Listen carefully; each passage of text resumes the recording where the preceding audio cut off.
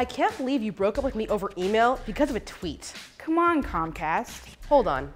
We need to take this from the top. In January, FCC Commissioner Baker approved the billion dollar merger between NBC, Universal, and Comcast. Last week, she announced that she was leaving the FCC to go work for Comcast. I was all OMG. That's not right, so I tweeted about it. Next thing I know, you email me to tell me you're cutting off the funding for my summer program at Reel Grrls. What the heck, Comcast? I thought we were friends. I thought you wanted me to speak my mind. What will I do this summer if this program isn't funded?